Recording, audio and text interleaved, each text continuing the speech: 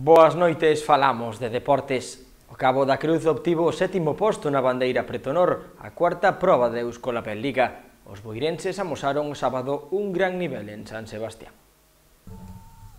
A 37ª bandeira Petrono, cuarta proba de Euskolabel Liga, disputouse este pasado fin de semana en augas de Ciervena, en Bilbao, concretamente na desembocadura do río Nervión. O conxunto do Barbanza o Cabo da Cruz realizou unha gran proba, especialmente o sábado, onde amosou un gran nivel. En cambio, o domingo non gozou do seu mellor momento, pero serviulle para rematar na sétima posición.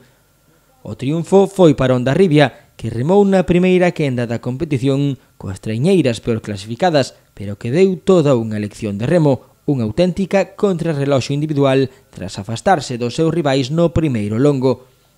Polo que se refire a Santa Olalla de Ares, rematou segunda na súa quenda e novena na xeral da regata.